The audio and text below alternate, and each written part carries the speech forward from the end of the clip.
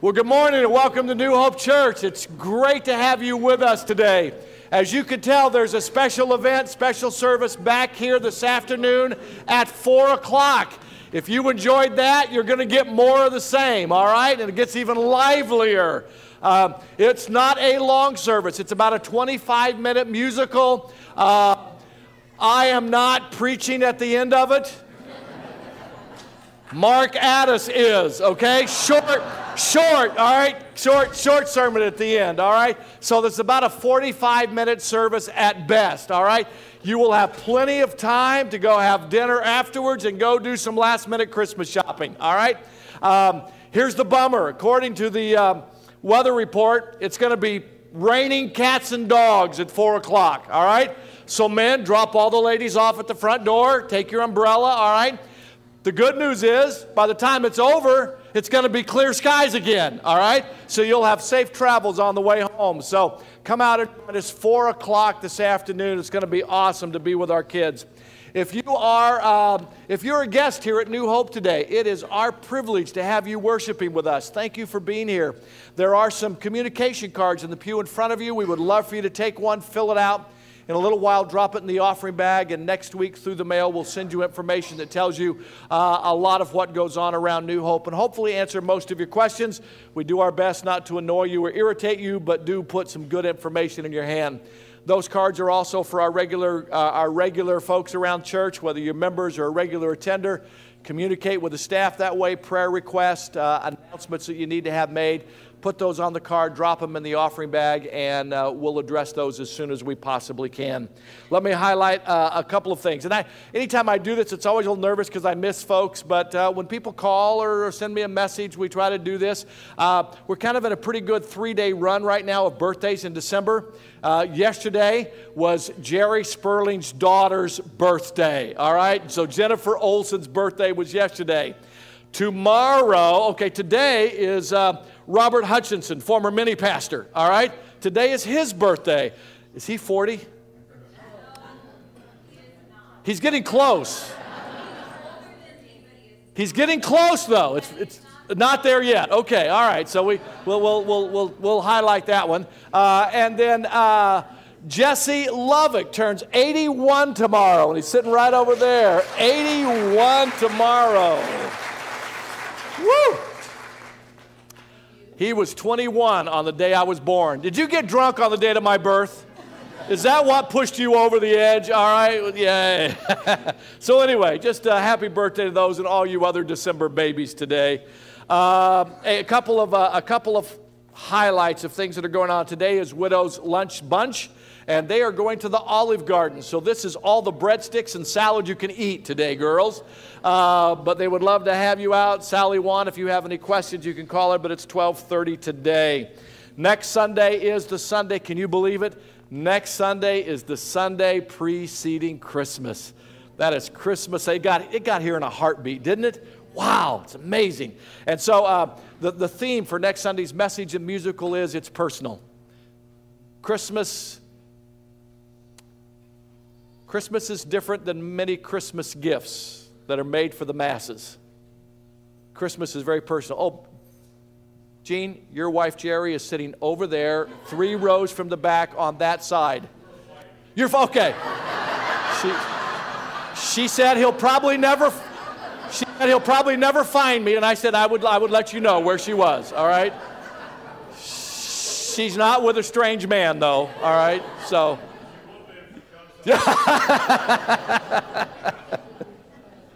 oh man. Um, now I lost where I was. All right, yeah, it's personal. It's, it's, it's personal. So that's, that's the theme of next Sunday service. Hope you'll be here. Please notice a slight change in time for next Sunday services. We have three services, but all of them will be in the sanctuary next Sunday. 8 o'clock will not be over there. You slept in today. Yes, all right, just, just notice that. Uh, 8 o'clock, Second, second, that's all right. The Beniers got up early, so they just swapped with you, okay? Um, 8 o'clock, then 9.30, okay? 9.30 for the second service, 11 o'clock for the third service, all right? So uh, next week, please be careful of the guys out in the parking lot for parking control. Don't run them over next week, all right? It'll be a little more hectic than normal. Be gracious to them. They're going to try to make it flow as smoothly as they possibly can. Uh, I've got a, one sign-up sheet coming around, and this is for next year. Can you believe we're saying that already? Next year, all right? Uh, starting on January the 13th, our Jam Kids Wednesday night program will kick off again. You'll hear more about that in the next week or two. Coinciding with that, we're going to be offering an adult Bible study on Wednesday night, and it's going to be called Raising Kingdom Kids. So, for all of you parents, who have children, all right, from, you know, toddler through sixth grade, you're bringing your kids to Jam Kids on Wednesday nights, uh, stay all right, and join the class Raising Kingdom Kids. This is a study that's written by one of my, one of my all time favorite authors and pastors, Tony Evans, out of Texas. Great material, and it is going to be led by Corey Gallardo. All right, and so that is on January the 13th. It's going to go through February 24th. So it's about seven, or is that eight weeks? Seven weeks? Six weeks, six or seven week study. They would love for you to sign up because there's material that we need to order and have available. So if you would like to attend that class, please sign up. We would love to have you there. Raising Kingdom Kids. Uh, I want to say thank you. Read it extensively, but mission report update. But a big thanks to everybody. Man, um, you brought so many wheelchairs, walkers, and sets of crutches that Bill Eccles had to call Teddy to bring a trailer it wouldn't fit in his truck, so they loaded him up in a trailer. And then there was a connection made from a young lady who attends our church that works for uh, in Dr. Hanson's office at the Spock Center. And on Monday, the sales rep for wheelchairs came through. She told him about what we had done here, so he's calling Joni and Friends and seeing what about new stuff that they might be able to donate to them. So wonderful last, great job last week, guys. Thank you, thank you, thank you. Uh, I mean, tennis shoes got delivered to inmates in prison last week, and clothes went to prison fellowship for men being released from prison. So you just did wonderful, wonderful work. Thank you so very much for all of that. Uh, also, thank you to those of you who are going to be delivering angel tree gifts this week. If you were one of those who volunteered for that, you know who you are. You can see gauge entry out on the pavilion after the service and pick those, uh, uh, pick those bags of gifts up, make those deliveries this week. Let me highlight some prayer requests. Um, First off, because many of you have asked, so let me take care of that right away. Uh, Dad's been in the hospital since Friday afternoon, so that's why you don't see Pops here this morning.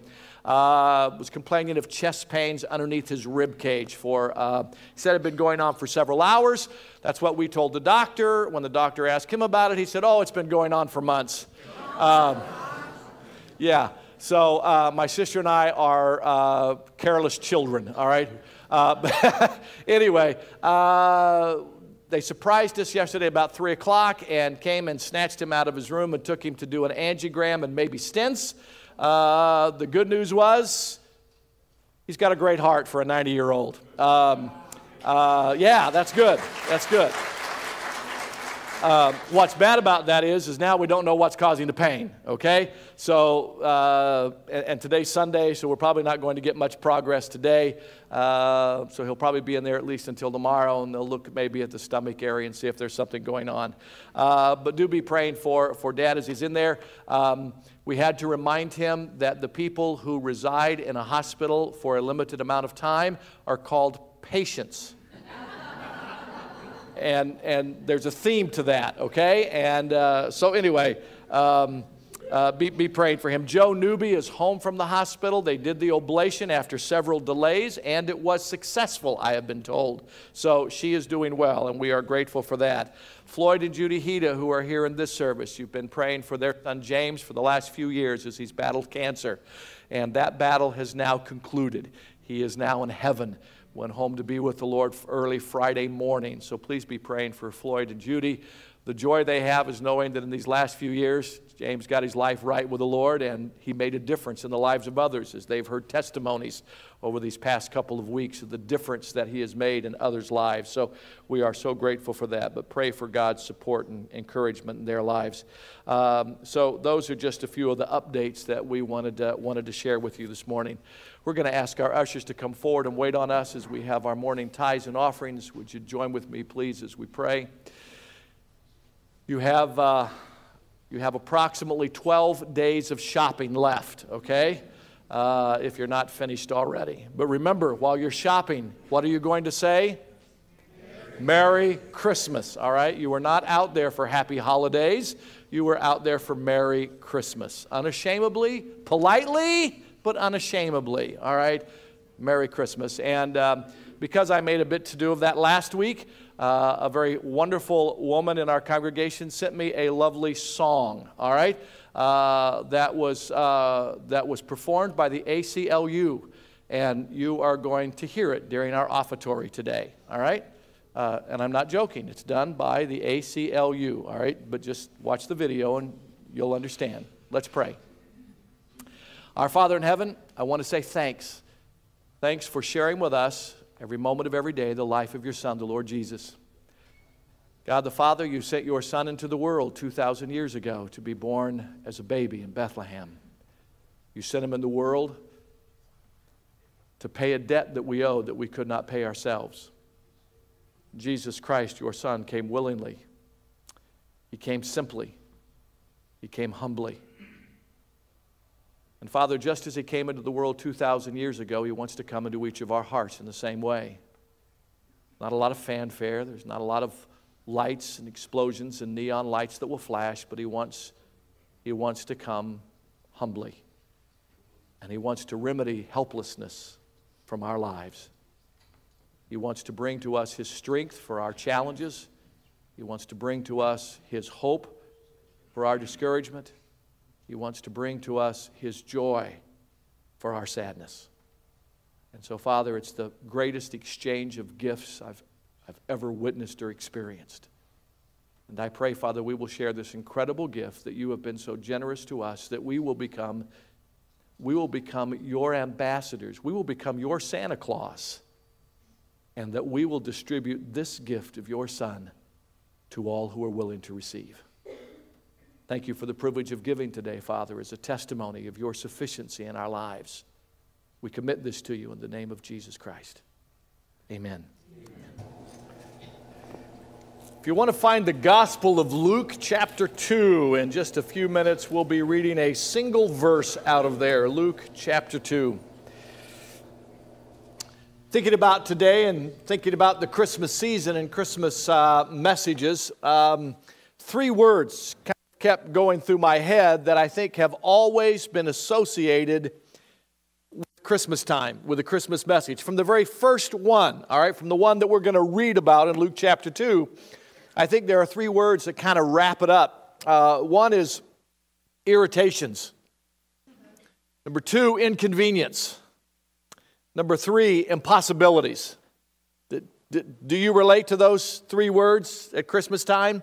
I mean, let's be, there are things that irritate us at Christmas, isn't there? Yeah, it's usually a member of your family. You, you can't, can't, wait to go. For, for, for, me this week, it was a, a transmission going out on my car, all right? It was really an irritant this, this particular week. And, and, and then there are inconveniences, and we can't do a whole lot about inconveniences, and, and they're not necessarily bad or necessarily good, they're just inconvenient. I mean, what happened in your life that was inconvenient this week? Anybody want to just pop off? What, what was inconvenient for you this week? Somebody say traffic? Yeah, it's traffic is worse this time of year. That makes life inconvenient. What else? You got the flu. Oh, right before performance. Yeah, with the kids. Yeah, that, that's inconvenient. Okay? Uh, children with no manners?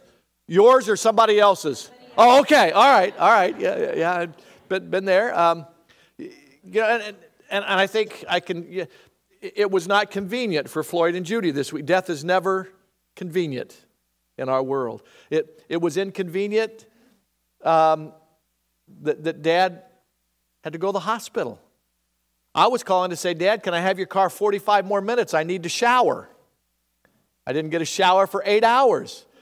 It wasn't all that bad for me, but everybody else around me was kind of inconvenienced over that fact.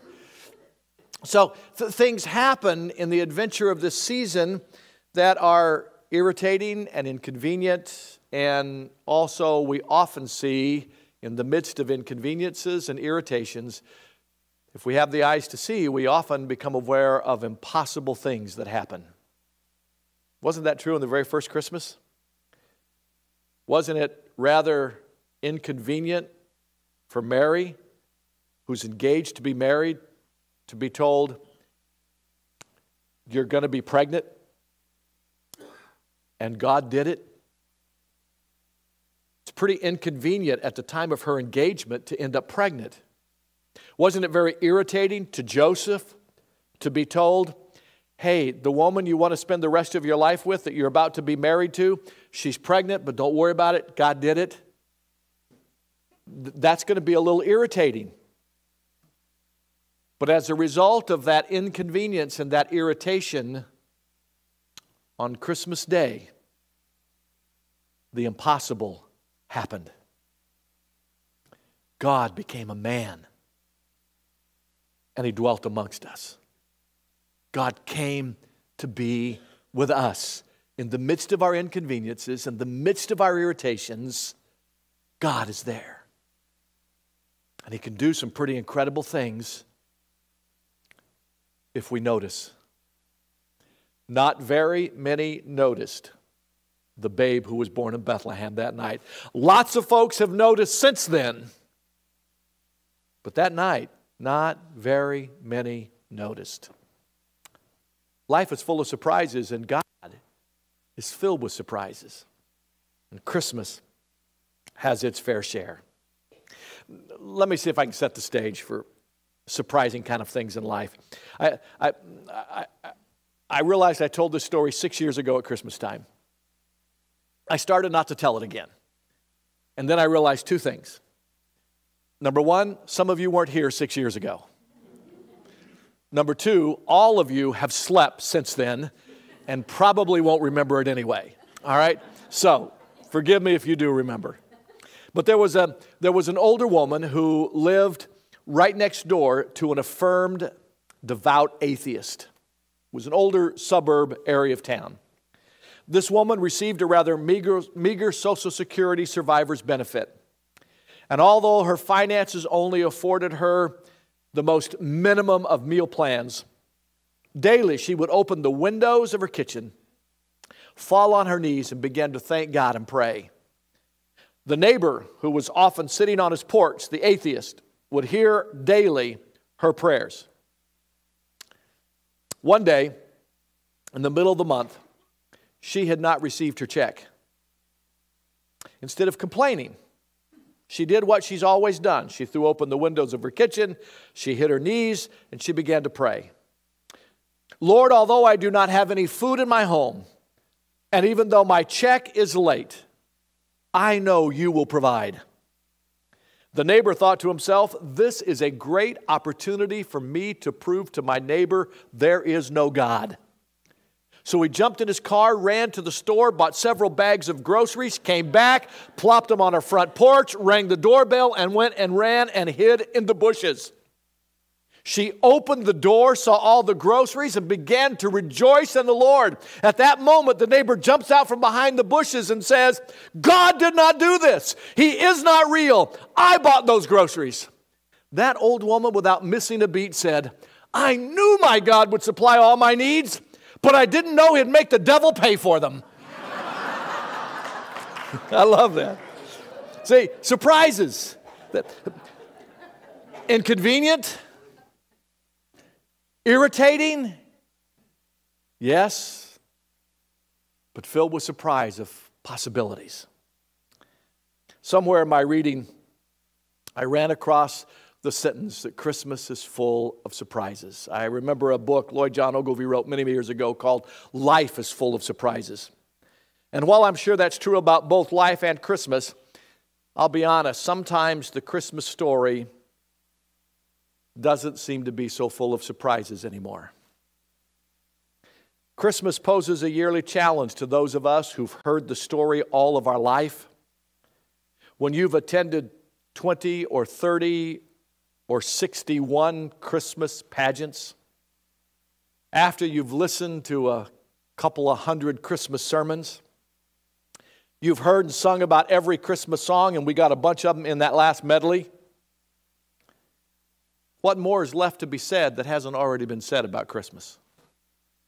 You see, if you know about Christmas a little bit, you know these basic minimal facts. You know about Mary and the angel Gabriel.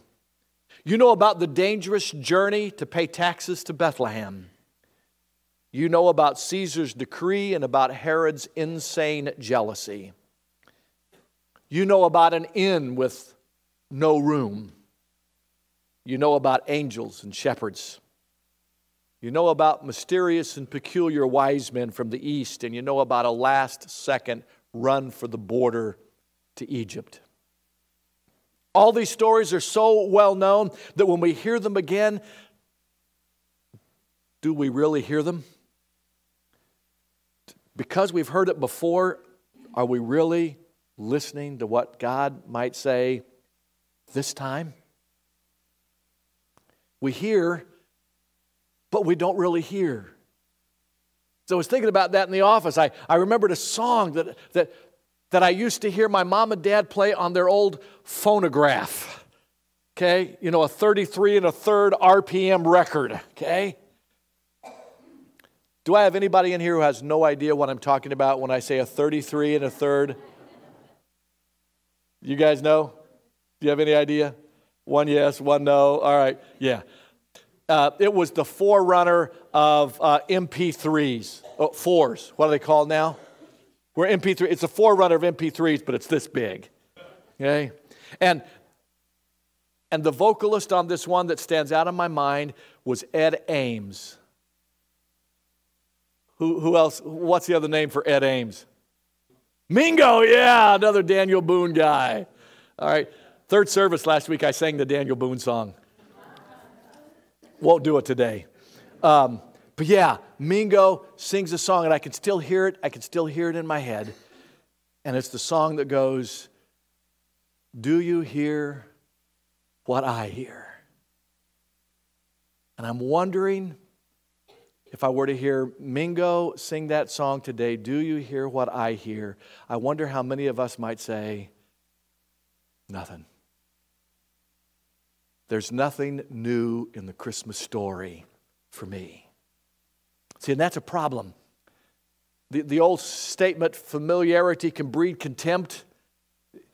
I doubt if any of us have contempt for the Christmas story, but what I am concerned about is that there's at least this casual disinterest in the Christmas story. Christmas season becomes just a time, let's just get through all the children's musicals. How many of you have been to two or three already at school? Yeah, and now you got another one, church. Can we just get through this?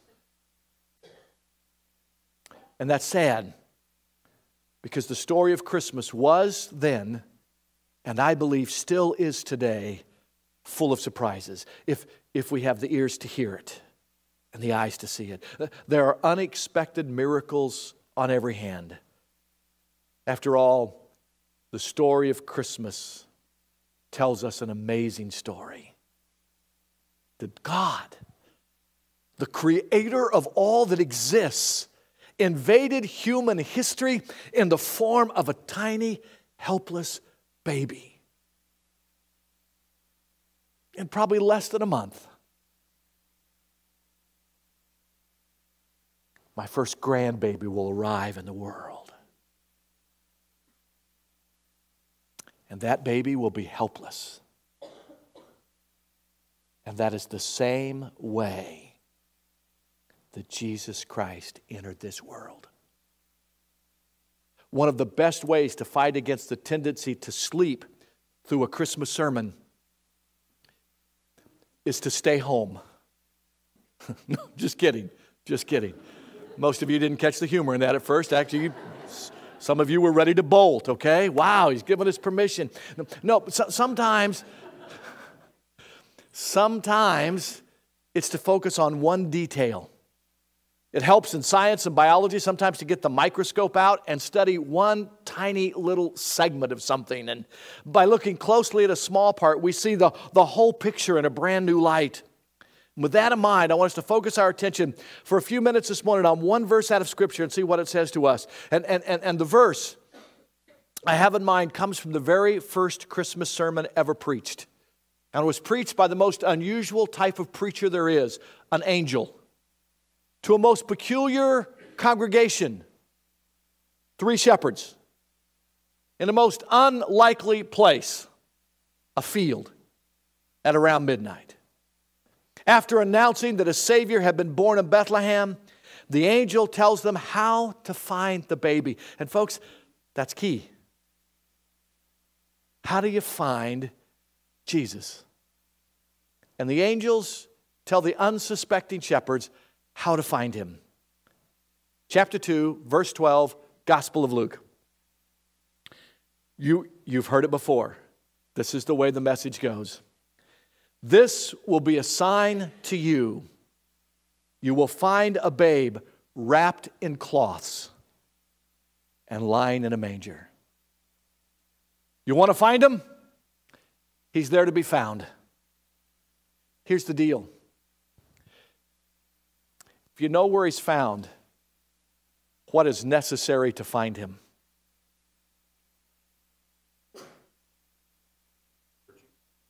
Going. You got to go. The shepherds were now given the way to find Jesus. They needed to want to find him, they needed to want to go. I suppose I've heard this verse hundreds of times, usually as part of a longer quotation from the rest of the chapter. And whenever I hear this verse, it's kind of this little, this little bell that goes off in my head as if to say, Tim, something about this just doesn't sound right. I mean, context is so very important. The angel has just declared the best news in the life of those shepherds to them. The angel had just said previous, For unto you is born this day in the city of David. Who? A Savior a Savior. what's He going to do? He's going to rescue you from the predicament you're in. And who is He? He is Christ the Lord. Guys, you got to understand. At the time these shepherd lives, what life was like. Terrorism is something new to American culture. Most of us have not lived with this. Our first taste of terrorism was in 2001. We didn't get another taste of it for several years. Now, all of a sudden, we're kind of getting a, a, a, little more taste of it. But, guys, this is pale in comparison to what the Jews were going through in the first century when Jesus was born in Bethlehem. Terrorism was an everyday occurrence by the Romans. Think of who was in charge. A guy by the name of Herod Talk about a terrorist. Because he hears that there's this baby that might become the king of the Jews, what does he decree? Hey, go house to house, take every male baby two years and younger and kill them. Does it get worse than that? About as bad as it gets. And the angels say to the shepherds today, there's somebody being born who's going to rescue you who's going to save you. The Messiah, the Lord from heaven is here, and you can find him in Bethlehem. Do you think the shepherds were prepared for this message that night? Do, you think they'd taken the previous, you know, how you guys are preparing, right? You're preparing for Christmas at your house right now, right? You've decorated? Trees up? Anybody not put the tree up yet? Just, just got one. Okay, it's not too late. Prices go down tomorrow, okay? It gets better. You prepare. Do you think these shepherds were prepared for the message they heard that night? Let me what challenged me about this this week. I've never wanted to be a hellfire and damnation preacher. Just wasn't wasn't my call, wasn't my gift, okay? I never wanted to be the kind of Christian that was known as a buttonhole Christian, that everybody you saw, you just buttonholed them and you asked them the question if you died tonight, do you know where you'd spend eternity? In, in, in my thought process is this, is this is about preparation, preparing the way. And, and I think there's some validity to that, but I'll also tell you something else. I think sometimes we use, I got to prepare things as an excuse to never point the way to Jesus Christ. And my dad drove that point home Friday and Saturday. Just about every nurse, orderly, or doctor who has examined him, poked him, or probed him, he has had pretty much the same thing to say.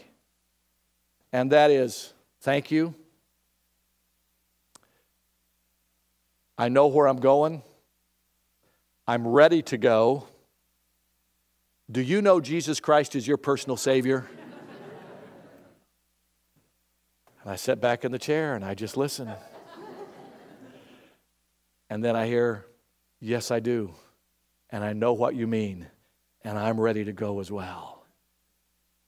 And I'm wondering if sometimes you and I become too cautious about, don't, don't, misunderstand me. I don't want us to be rude. I don't want us to be considered mean or arrogant.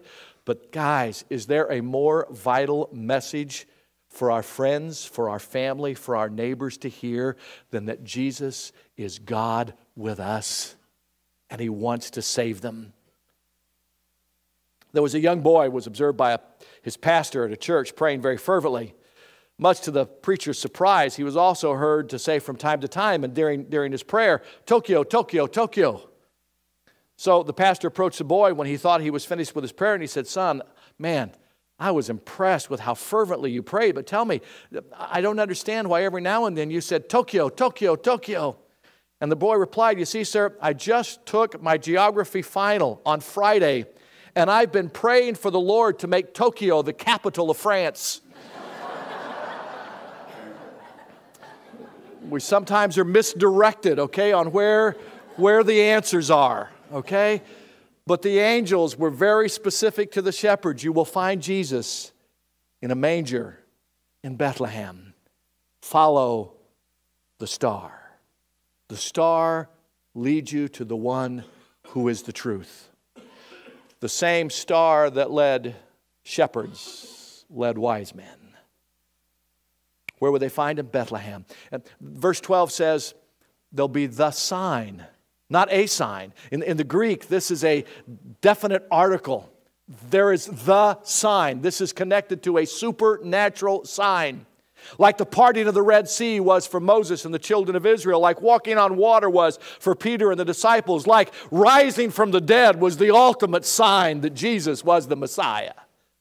Those events are signs that the God of the universe has intervened in human history. And that's why verse 12 has always sounded a little strange to me. This will be the sign. A, babe in Bethlehem? I, I mean, for God? I expect, I expect it to be the moon will turn to blood and the stars will spell out his name and flash like neon lights. But no, the, the sign from God is this you will find a babe wrapped in, the old King James says it this way, swaddling clothes, lying in a manger. Several questions pop in my mind. In what way is a baby a sign? Why did God choose to enter the human race this way? Why does the text mention swaddling clothes? What does a manger signify? After all, Jesus was almost certainly not the only baby in Bethlehem that night. We know that later on, Herod had all the boys slaughtered that were two years and younger. So, what's so special about this sign of this baby in a manger? Luke 2:12 is telling us the particular circumstances of Jesus' birth, and he's letting us know these things are important. They're part of the message of God. After all, Jesus could have been born in any circumstance that he chose. So, what is the message of the manger? What is God saying to us? What is it that we can learn from this Christmas story about how God works in our lives and about who Jesus wants to be in our lives? Let, us imagine for a moment you've just arrived in America. You've never been in this country before.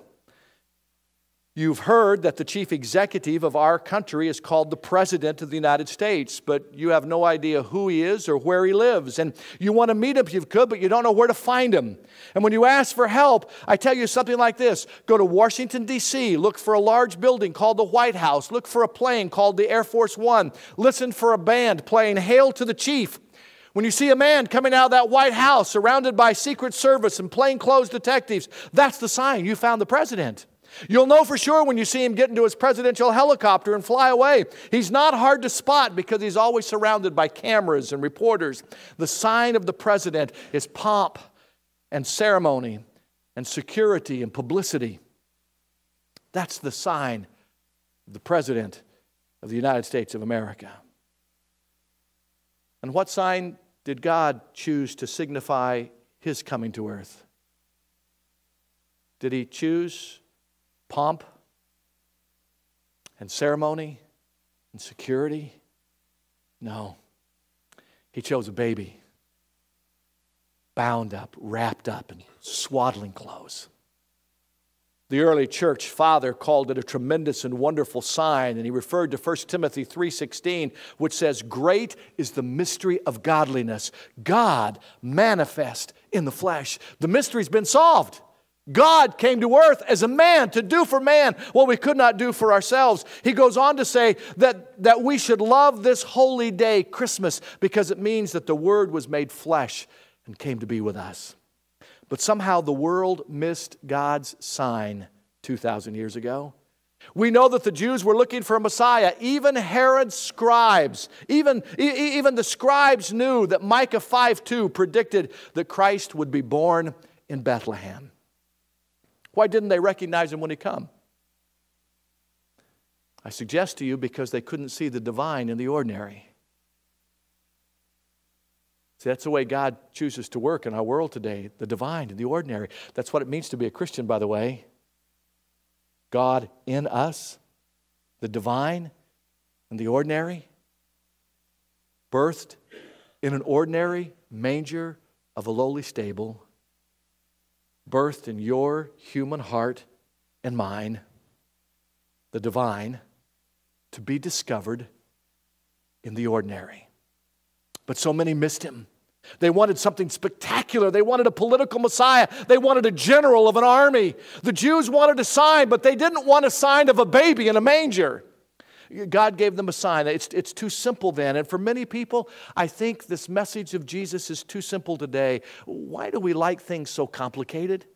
Why do we tend to make things so hard? Just for a moment, let's suppose we don't know anything else about the Christmas story except Luke chapter 2, verse 12. Just that one verse. What would we know about the birth of Christ? Suggest you three basic things. First of all, we would recognize his humanity. You'll find Jesus as a baby. You'll find God as an infant, a newborn child. Even though we often speak of the virgin birth, we got to remember the birth on Christmas Day just an ordinary run of the mill woman having a baby. Piece of cake. Okay, wake up, girls. Wake up, girls. All right. The miracle was not the birth. The miracle was not the birth. The miracle was the conception nine months before. Okay, that was the miracle, the incarnation. To say that Christ was a born as a baby brings us face to face with the truth of the incarnation. Although he was fully and truly God from all eternity, the Son of God took on real humanity, conceived in Mary's womb, born in Bethlehem, not half God, not half man, but fully God and fully man. He did not cease to be God. Oh, this is two sermons in a row. I just lost my sermon, but we found it again, all right? Why it's doing that at that very same page, I have no idea. He did not cease to be God, although, I will get there, he laid aside outward glory of his deity. In some way mysterious to us, the Lord Jesus Christ was fully God and fully man, two natures in one person. You say, Tim, I can't figure that out. Good. Good. If you could figure that out, you would be God. If you could figure that out, you would have no need for God. Is, would you want to put your faith and your trust in a God that you could figure out? Not me. But this God does incredible things, and one is He became a man. That's the central truth of Christianity. God has entered human history to provide for each of us personally, next Sunday's sermon, a way of salvation. What we could not do, God did for us through His Son. Everything else flows through this truth. If He had not been born, He could not have died for us. And if He had not died for us, He could not have risen from the dead for us. He had to become like us in order to save us. He had to become like us in order for us to become like Him. That's not real complicated, is it? Can't understand it but it's not that complicated. Many battles have been fought over this basic truth.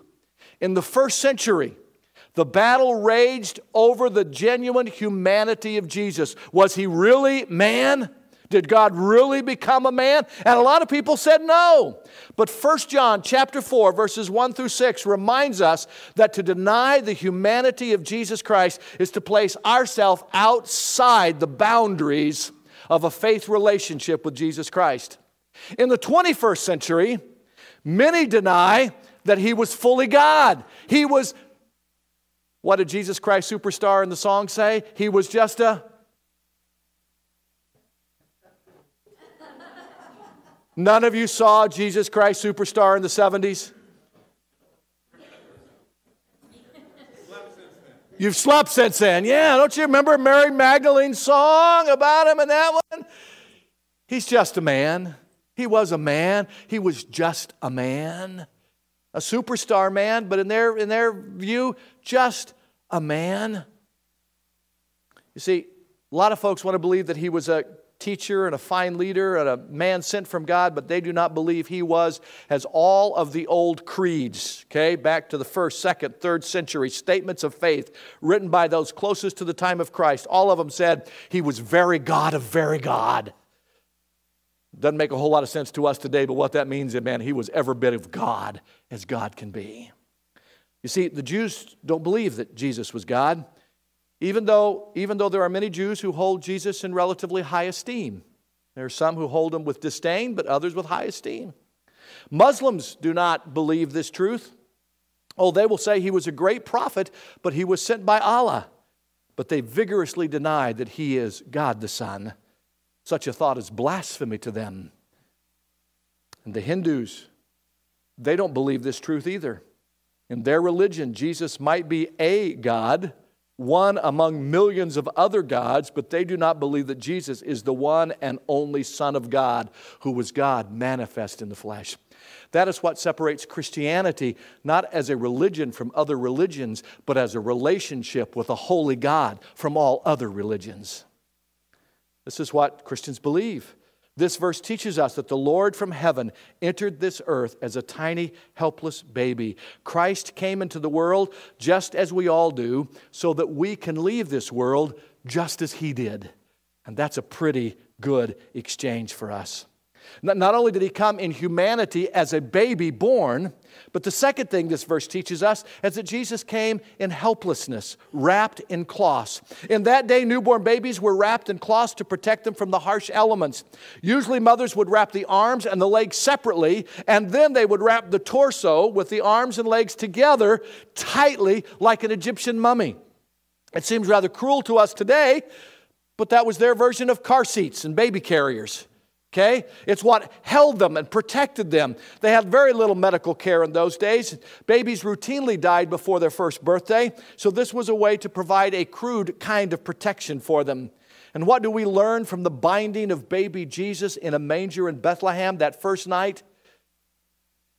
It foreshadows a future day 33 years later when Jesus, as a grown man, would now stand before the Jewish authorities bound and guarded as if he were a common criminal. Falsely accused, he makes no reply. When reviled, he refuses to answer in kind. He stood before his accusers with his hands tied, awaiting the verdict that would end his life, but offer to every one of us everlasting forgiveness.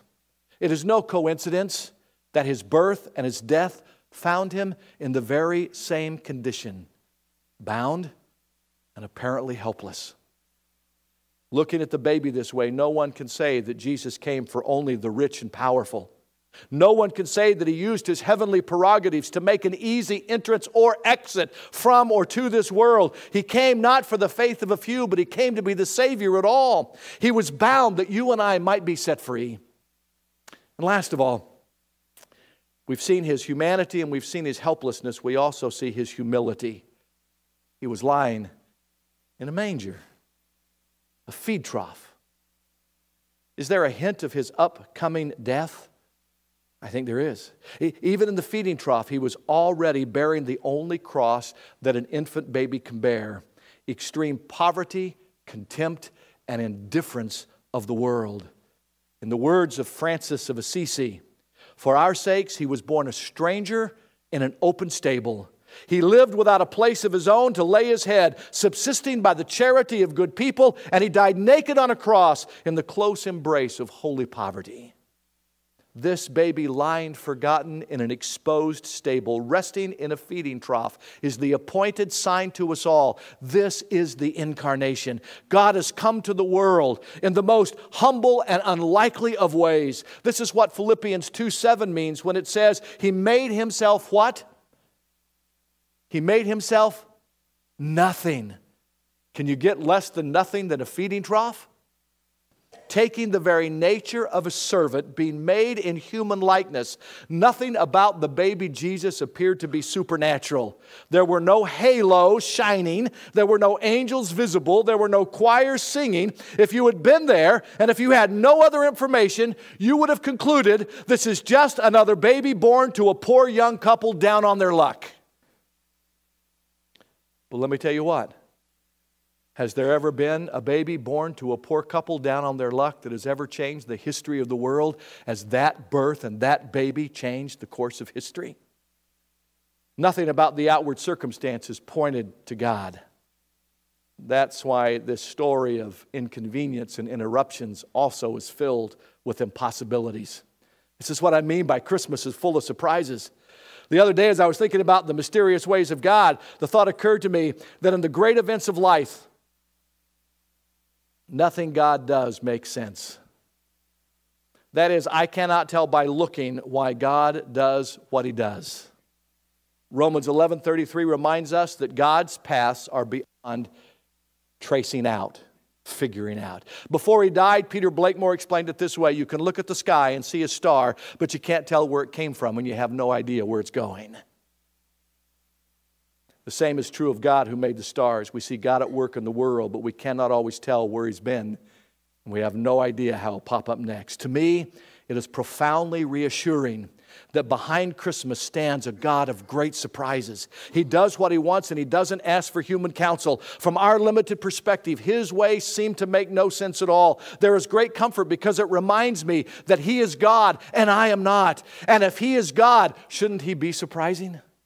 I, I thought of that yesterday, mid morning in the hospital with dad. Got to remember, we've been hearing from my dad really for months. I'm ready to go. I don't know why God still has me here. He can take me anytime He's ready. And boy, he was saying that in the hospital.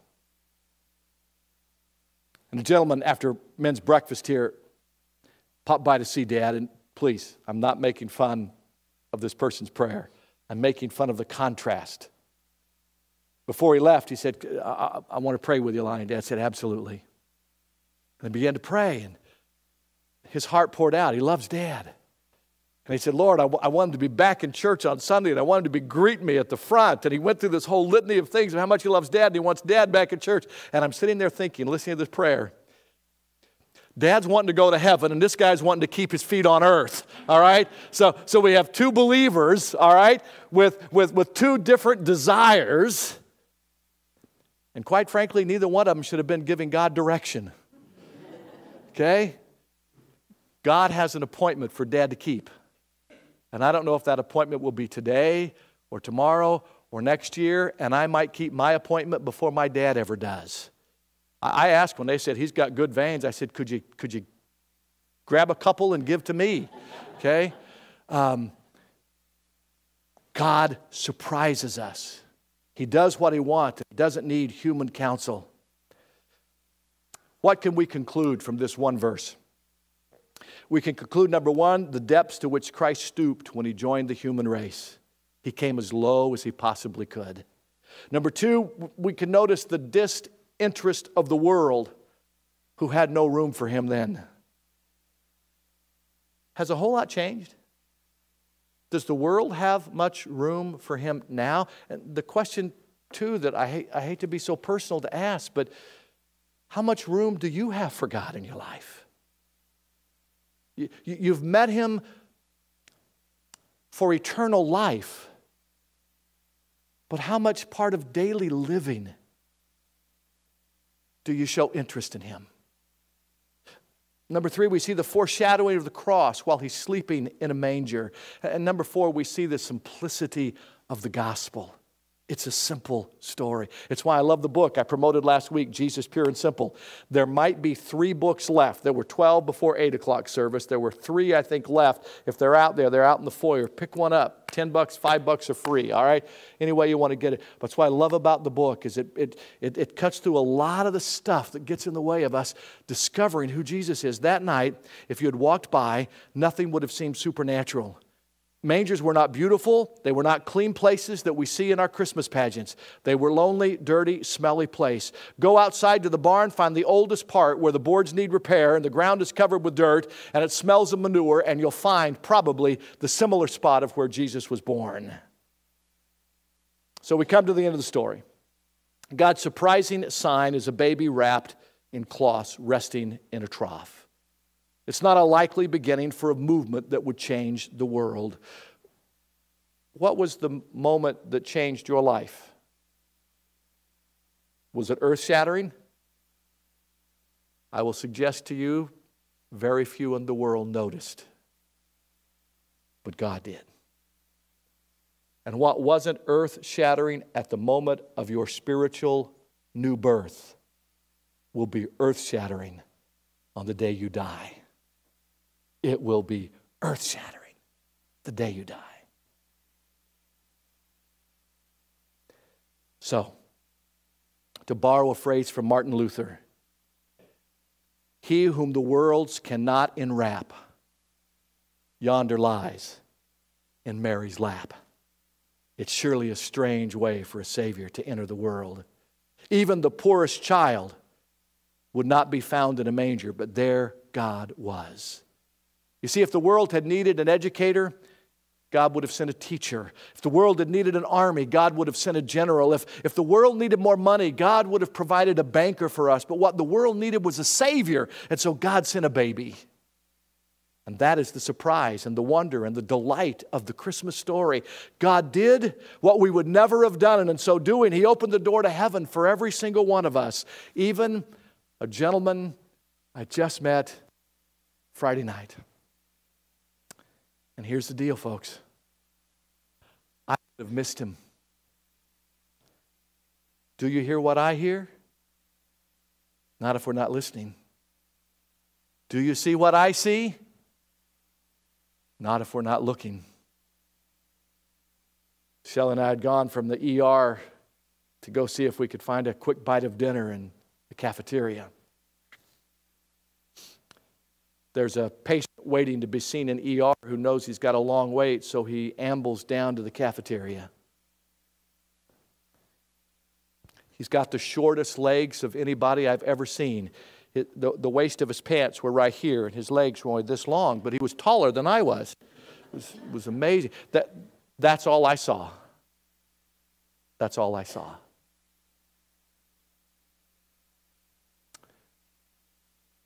But my wife saw a man in need.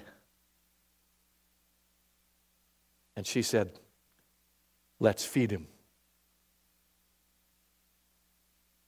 I said, Huh? She said, Let's buy his dinner. He then asked, He said, I, think he knew the one with the more sensitive face. And he asked Shelley, he said, I, I don't know if you could spare anything so I could eat.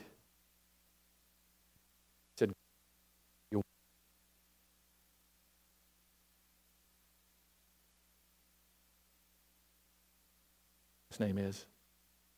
Guy in the last me and said it was bullfrog. Uh, I, I, I, I have no idea.